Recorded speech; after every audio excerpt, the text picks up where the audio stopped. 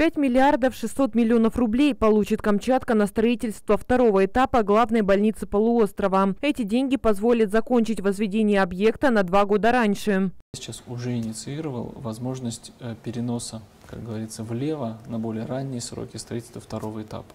Не дожидаться окончания первого, а запараллелить эти процессы.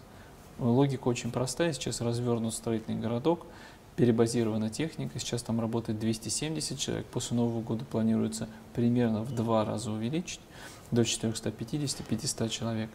И это означает, что если сейчас запараллелить работы по новым корпусам, их можно сделать примерно на два года быстрее.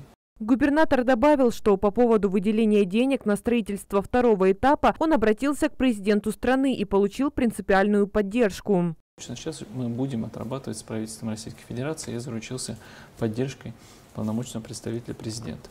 Еще раз хочу подчеркнуть, речь идет не о действующем строительстве, а о следующей очереди, которая сейчас вынесена за э, контур э, того проекта, о котором мы говорим. Важно их синхронизировать и максимально быстро обеспечить все очереди строительства и их завершения. Добавим, Юрий Трутнев в ходе визита на Камчатку поддержал решение главы региона о параллельном строительстве двух этапов. Это даст возможность не беспокоить больных шумом стройки. Сейчас же работа в рамках первого этапа идет в соответствии с графиком. Основное, что по краевой больнице стройка идет в полном соответствии с графиком. А Юрий Петрович Трутневу об этом доложили на площадке и застройщик, и э, стройнадзор, и э, Министерство строительства Российской Федерации, заместитель министра.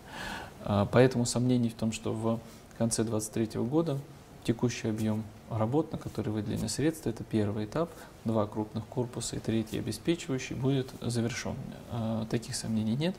Здесь э, все в плановом порядке движется. По проекту новая краевая больница рассчитана на 150 посещений в смену и 450 коек. Площадь комплекса составляет 80 тысяч квадратных метров, а общая площадь территории более 40 гектаров. Строительство будет осуществляться в два этапа. На первом этапе планируется ввод в эксплуатацию лечебного и палатного корпусов и необходимых инженерных сооружений. На втором этапе строительства возведут еще четыре больничных корпуса.